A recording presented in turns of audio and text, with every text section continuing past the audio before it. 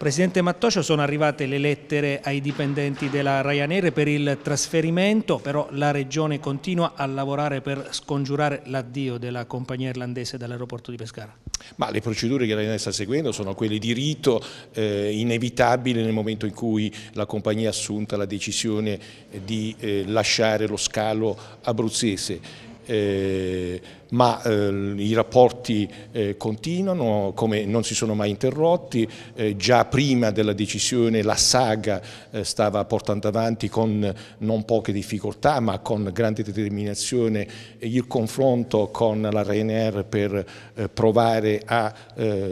continuare a far continuare questa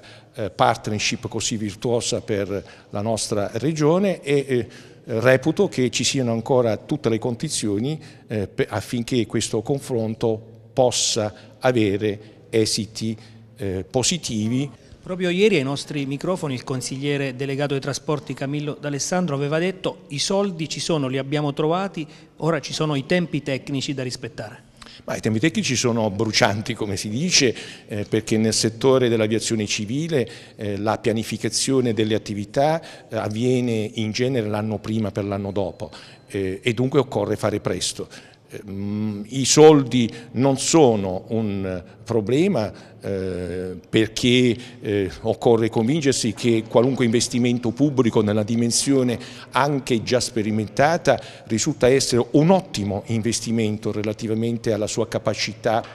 eh, di efficientamento e di valorizzazione dell'economia e del, ter del territorio eh, regionale. Voi state comunque lavorando, proprio nei giorni scorsi avete anche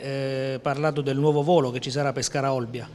Sì, era eh, un'attenzione rivolta eh, a lungo da parte eh, della comunità eh, di abruzzesi in Sardegna o di sardi in Abruzzo e anche da parte di numerosi operatori economici affinché si ripristinasse un contatto almeno per la stagione estiva eh, con quella importante isola.